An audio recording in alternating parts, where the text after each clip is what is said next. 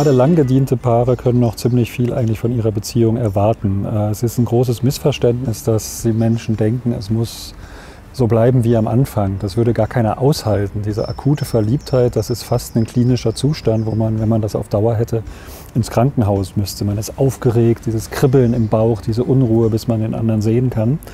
Äh, also das ist was, was typisch für diese erste Phase der Verliebtheit ist, aber was eben auf Dauer nicht auszuhalten ist und auch gar nicht das ausmacht, was eine lange Beziehung ausmacht.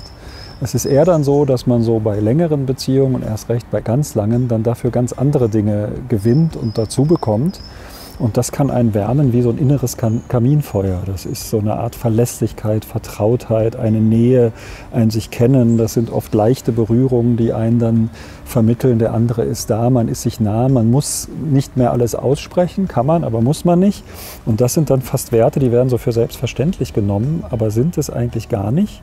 Und die sind auch nicht das, was man am Anfang einer Beziehung unbedingt schon hat, sondern das ist sozusagen erst der reife Zugewinn der späteren Jahre. Und ähm, das ist auch etwas, weil es eben viele Phasen in der Liebe oder in, in Beziehungen gibt, äh, wo man sich auch vielleicht darauf einlassen sollte, dass dann eben noch ganz viel Neues und anderes kommt und verschiedene Entwicklungen. Und dass es das wert ist, so lange auszuhalten und das mitzumachen und mitzunehmen. Ja, wenn Menschen zusammenkommen, wenn sie verliebt sind, dann erwarten sie oft, dass ihre ganze Liebe lang so ein rosa-rotes Bällebad der wohligen Emotionen ist und dass es immer so weitergeht. Ähm, das geht eben auch schon allein biochemisch nicht, so von den Bindungs- und Liebes- und Sehnsuchts- und Nähemolekülen und wie man sie alle nennen möchte. Da sind Oxytocin und Dopamin die wichtigsten. Es gibt aber noch eine Menge andere. Und man kann das eigentlich bei fast allen Beziehungen sehen, dass das etwas ist, was von dem ersten Zusammenkommen dann so bis zu anderthalb Jahren, 18 Monaten immer weiter absinkt und dann eigentlich bis zum vierten Jahr ganz auf dem Tiefpunkt ist. Also eigentlich müsste man nicht vom verflixten siebten Jahr, sondern vom verflixten vierten Jahr sprechen. Und das ist auch eine Erklärung dafür, warum gerade bei jüngeren Menschen, so zwischen 15 und Anfang 30 vielleicht, da sind ganz viele Beziehungen, sind dann nach vier, fünf, sechs Jahren beendet, weil die diesen Übergang aus der akuten Verliebtheit, aus diesem leidenschaftlichen, romantischen, man will immer zusammen sein, immer übereinander herfallen, sich sehen, sich berühren, jede Minute miteinander verbringen, weil die diesen Übergang dann sozusagen in die Mühen der Ebene oder in das, was danach kommt, nicht hinbekommen und denken, komisch, dieses romantische Leidenschaftsgefühl ist nicht mehr da, also ist das nichts mehr und sie machen dann Schluss. Also finde ich ein ganz faszinierendes Phänomen, gerade diese vier, fünf Jahresgrenze. Das ist oft so ein, so ein entscheidender Punkt, über den es hinwegzukommen gilt. Ja, viele Paare verwechseln Langeweile mit lange Liebe. Ähm, dabei ist das, was sozusagen als Langeweile empfunden wird, oft sind das ja einfach ganz liebenswerte, schöne Rituale, Gewohnheiten, die man zusammen hat. Da kann man natürlich klischeemäßig sagen, er bringt ihr den Kaffee ans Bett oder sie macht bestimmte Dinge für ihn. Aber es gibt ja ganz viel, was sich so eingeschliffen hat mit der Zeit und was man eben nicht als negative Macke, sondern als schöne gemeinsame Errungenschaft sehen kann. Also als ein Zugewinn von beiden. Und ähm, also sozusagen Gewohnheit, Gewöhnung, das muss nichts Negatives sein. Es ist natürlich jetzt eher so gesellschaftlich, will man immer irgendwie was Neues, entwickelt dich weiter, lebenslanges Lernen. Also die ganzen Signale gesellschaftlich, die vermitteln einem natürlich, dass ständig was Neues kommen muss. Aber das ist gerade in emotionalen und in Liebesdingen eigentlich der, der sichere Weg ins Unglück. Äh, deswegen habe ich in meinem Buch auch sowas wie toxische Zweifel und Tabufragen äh, aufgeführt. Wenn man also ständig am Vergleichen ist, liebe ich diese Frau eigentlich noch? Ist der Typ eigentlich noch was für mich? Ist der andere nicht viel attraktiver? Ist die nicht viel intelligenter?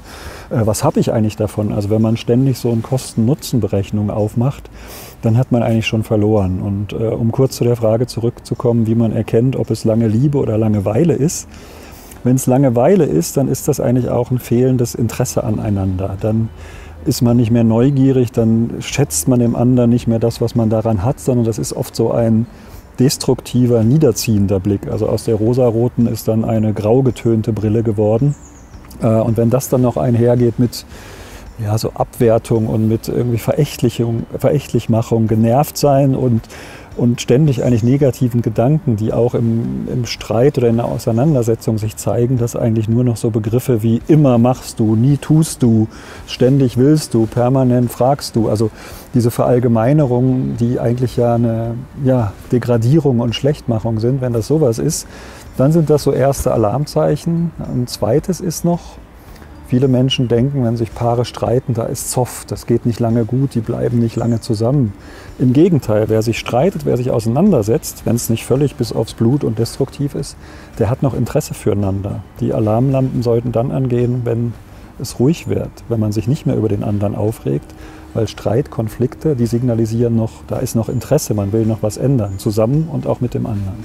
Also es ist naheliegend oder verständlich, dass in vielen langjährigen Beziehungen auch die Lust auf sexuelle Abwechslung dann da ist oder wächst, aber offene Beziehungen funktionieren meistens nicht, weil es dann eben doch ja, oft ein asymmetrisches Verhältnis zwischen dem Paar ist, dass dann der eine doch mehr gekränkt ist als der andere oder eben die Verletzungen größer sind und das führt dann meistens zu Durchzug.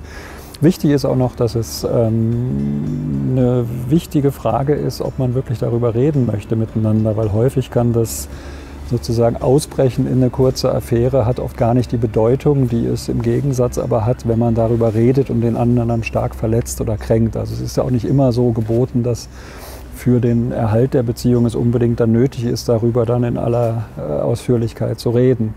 Manchmal ist es auch so, dass wenn sowas vorgekommen ist oder beide vielleicht ihre Abenteuer und Affären hatten, dass es danach sogar das Paar wieder stärker zusammenschweißt weil es irgendwie dann merkt, was es aneinander hat und dass das andere eben wirklich nur mal eine, eine Abwechslung war oder sozusagen, ja, äh, es wird natürlich manchmal auch als so eine Art Nachreifen in fremden Betten äh, verstanden, dass man dadurch sich noch weitere Erfahrungen holt, die der eigenen Persönlichkeit dienen, aber das ist eigentlich ein ziemlich egozentrischer Blick und man sollte sich vielleicht auch von dem Ideal verabschieden. Frauen denken ja manchmal, sie wünschen sich so eine Mischung aus George Clooney und Elon Musk und dem netten Wuschelkopf, der die Gemüsekiste vor die Tür stellt. Und Frauen und Männer wollen so eine Mischung aus Mutter Teresa und Penelope Cruz und einem bulgarischen Unterwäschemodel. Und das kann natürlich kein Mann und keine Frau diese Ideale erreichen. Und ähm, da sollte man eher wissen und schätzen, was man aneinander hat. Und da ist dann oft ja auch die körperliche Liebe auch schön, auch wenn man nicht mit dem Supermodel zusammen ist, sondern dafür andere äh,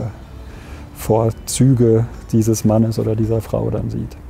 Also das Problem der Stones-Generation ist, dass sie so wahnsinnig selbstbezogen und narzisstisch ist ähm, und eitel, egoman, muss man schon fast sagen, wie keine Generation vor ihnen.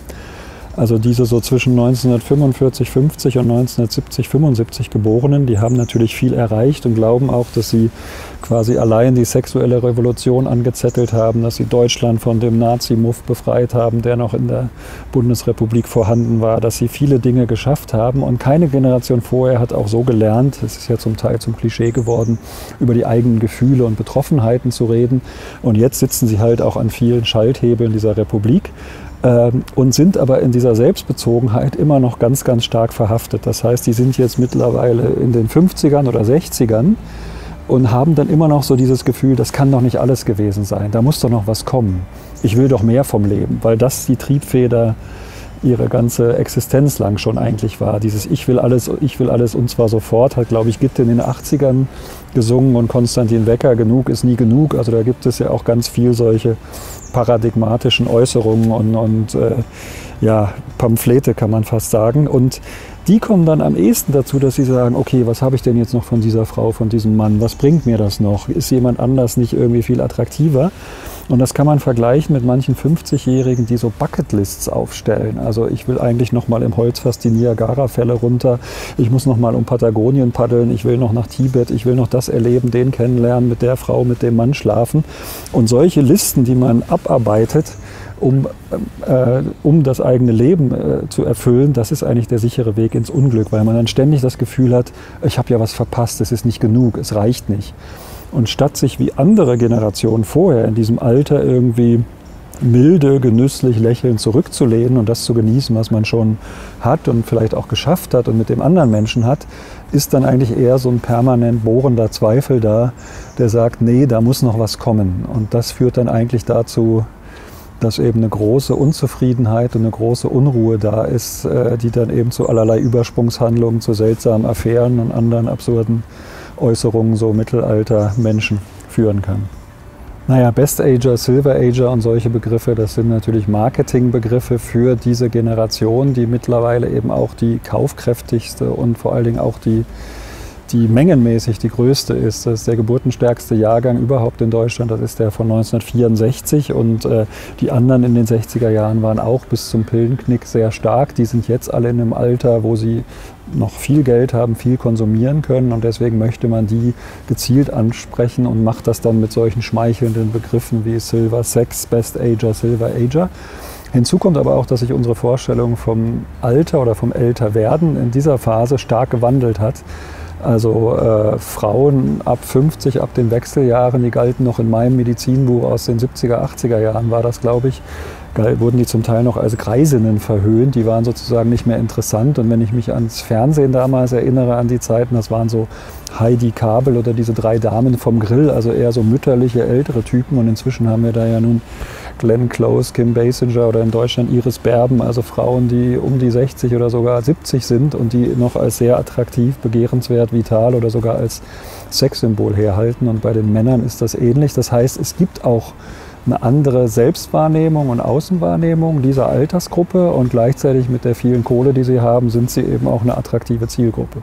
Der Run auf die Ehe ist deswegen ungebrochen, weil es natürlich äh, immer noch diese Illusion, dieses, diese Vermutung, diese Hoffnung gibt, da hat man den einen, die eine fürs Leben gefunden. Also wir sind halt doch noch unrettbar romantisch, also spätestens seit 1820, 1830, wo dann aus der Zweckehe die romantische Liebe wurde, hängen wir diesem Ideal nach und versuchen das zu erreichen. Das ist natürlich auch eine völlige Überforderung der Liebe. Und äh, ja, in den großen Städten ist die Scheidungsrate bei etwa 40 Prozent. Da hilft natürlich als Tipp, man muss vor Alpenkulisse oder in Sylt oder auf einer Insel heiraten. Da ist die Scheidungsquote ähm, nur bei 12, 13 Prozent oder auch auf Hawaii ist sie auch nur bei 12, 13 Prozent. Noch besser ist die Mongolei, da ist sie bei 1,5 Prozent. Das sind aber alles, mit Ausnahme der Mongolei, statistische Tricks. Also das sind ja die letztgenannten Orte sind beliebte Heiratsziele. Das heißt, die Leute heiraten dort, aber wenn sie sich dann trennen, dann sind sie halt wieder zurück in Gummersbach oder in Ida Oberstein oder in ihren Orten, aus denen sie herkommen. Äh, deswegen haben diese touristisch beliebten Hochzeitsziele haben die eine deutlich bessere Quote. Aber die ernste Antwort ist, es ist das romantische Ideal, diese Überfrachtung die Hoffnung, das ist es jetzt und sich endlich mal fallen lassen, den Traumprinzen, die Märchenprinzessin zu haben und festzuhalten für immer.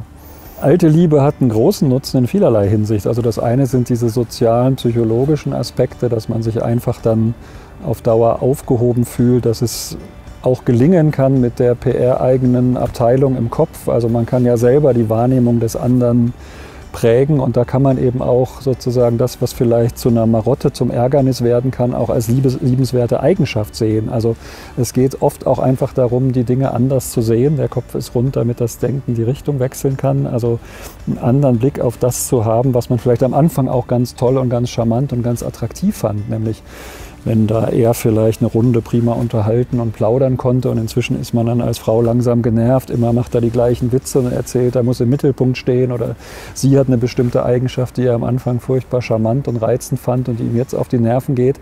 Und sich dann zu erinnern, was mal am Anfang das war, was einen daran so fasziniert hat, das kann extrem hilfreich sein. Und dann gibt es so ganz nebenbei, das ist auch ein praktischer Aspekt, man weiß aus Dutzenden, wenn nicht Hunderten Untersuchungen mittlerweile, wie gesund es ist, für verheiratet zu sein. Also rein aus egoistischen Gründen könnte man schon auch sagen, man lebt länger, es gibt weniger Herzinfarkte, Schlaganfälle, andere garstige Erkrankungen. Wenn man krank wird, heilt er schneller, man wird schneller gesund. Wenn man in einer Beziehung zusammenlebt, muss man nicht verheiratet sein, aber eine feste Beziehung. Allein dieses wissen, da ist jemand, der sich kümmert, da ist jemand, um den man selbst sich kümmert und sorgt, man ist für etwas, für jemanden, für das Gemeinsame verantwortlich. Das ist nicht nur Wohltun, sondern über dieses innerliche Wohltun auch unglaublich gesund. Und deswegen lohnenswerte Geschichte.